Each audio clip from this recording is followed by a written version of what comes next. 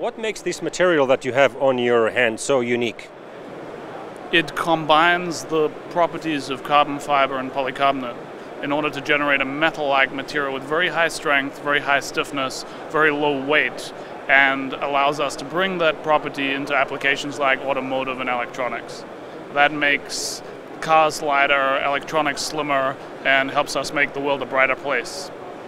We're seeing behind us a molding machine which produces laptop covers out of this quite magic material. Uh, why do you think the application of laptop covers is important and something where there's growing demand?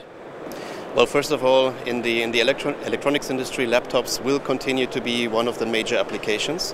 And when you look into the electronics uh, market, laptops, there's a need for having slimmer and thinner laptops, and then for sure customers are looking for a certain demand how to fulfill that from the material property perspective.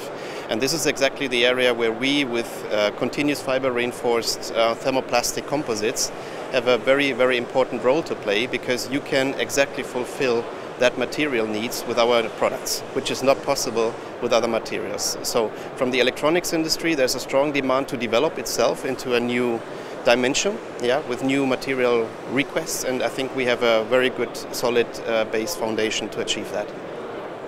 So, what's the industry pickup so far? Certainly, there has been massive crowds gathering before this machine is using that material. What has been the resonance so far from the industry regarding this new composite?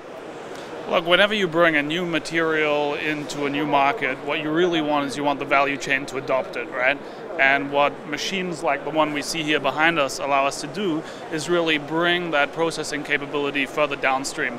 Without that, it's very difficult to bring a new material in.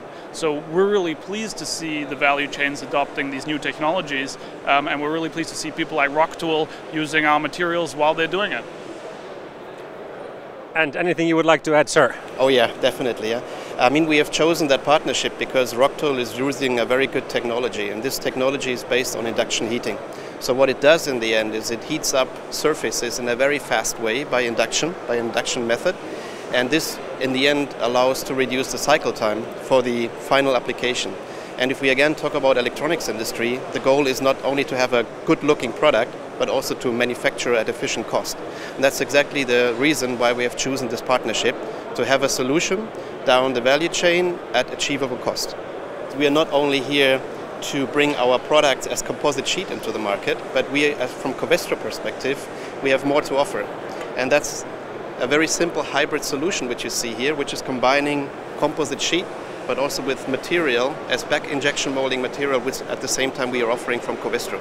That's a quite unique uh, selling proposition.